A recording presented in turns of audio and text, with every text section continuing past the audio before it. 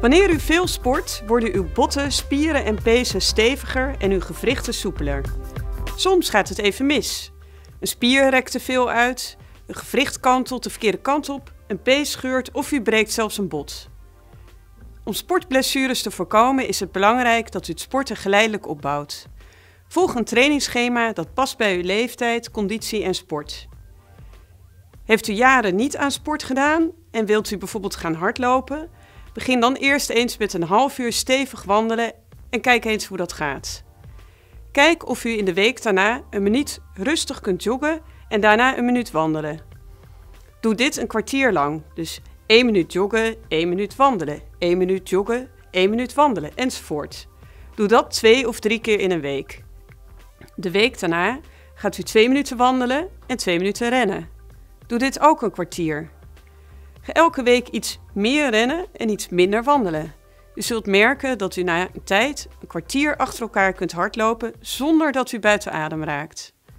Probeer daarna uw looptijd wekelijks met een paar minuten uit te breiden, tot u de afstand van uw keuze kunt volhouden. Kijk dan week voor week of u het iets sneller kunt totdat u een tempo rent waarbij u zich lekker voelt. Als u het bij elke sport zo voorzichtig opbouwt, krijgt u hooguit wat spierpijn en is de kans op blessures klein. Bent u eenmaal goed aan het sporten, dan wordt het vooraf opwarmen van uw spieren steeds belangrijker, de warming-up. Bij de meeste sporten hoort een goede warming-up. Bijvoorbeeld beginnen met een rondje rennen of even op een home trainer warm fietsen. Doe het totdat u zich ook echt warm voelt worden. De bloedvaten in uw spieren staan dan wijd open. Er stroomt veel zuurstofrijk bloed door uw spieren.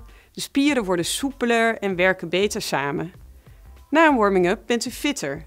U let beter op en reageert sneller. Na een goede warming-up heeft u minder kans op blessures. Sluit het sporten af met het uitlopen of rek- en strekoefeningen. Hierdoor kan uw lichaam geleidelijk afkoelen. U heeft dan minder kans dat u de volgende dag spierpijn of stijfheid heeft. Als u veel gaat sporten, kan het belangrijk zijn om extra spierversterkende oefeningen te doen. Hierdoor krijgt u meer kracht en snelheid. Met sterke spieren kunt u onverwachte bewegingen of botsingen bij teamsport sneller en beter opvangen. Bij voetbal helpen bijvoorbeeld oefeningen om de spieren rond het kniegewricht te versterken. Bespreek met trainer of oefentherapeut de oefeningen die passen bij uw sport, zodat u de belangrijkste bewegingen soepel kunt maken, beter beheerst en langer kunt volhouden.